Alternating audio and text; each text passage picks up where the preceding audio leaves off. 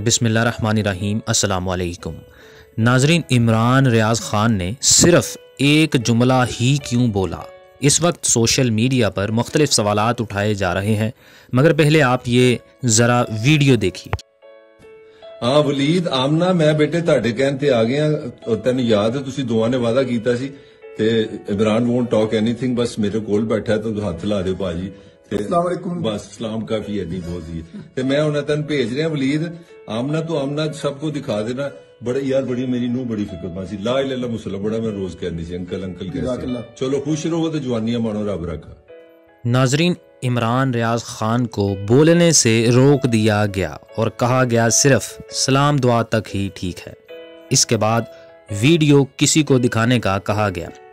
पहली बात लोगों को बहुत खुशी हुई, क्योंकि काफ़ी अरसे बाद इमरान रियाज ख़ान ने वीडियो में आकर बात की है, चाहे सिर्फ़ सलाम दुआ ही की है। उनके फैंस उनकी सेहत के हवाले से काफ़ी परेशान थे, क्योंकि बताया जा रहा था कि इमरान रियाज ख़ान ना तो ठीक तरह बोल पा रहे हैं और ना ही बात को समझा पा रहे हैं। लिहाजा अब, जब ये वीडियो आई है जिसमें वो सलाम दुआ कर रहे हैं, सब खुश हो गए हैं और उनके आने वाले नए वीलाग का बेसब्री से इंतज़ार कर रहे हैं। दूसरी बात, जो लोग नहीं जानते, वो सवाल जो सब सोच रहे हैं कि इमरान रियाज खान पहले की तरह सियासत पर बात करेंगे या नहीं, या सिर्फ़ मखसूस मौजू पर बोलने की इजाज़त होगी।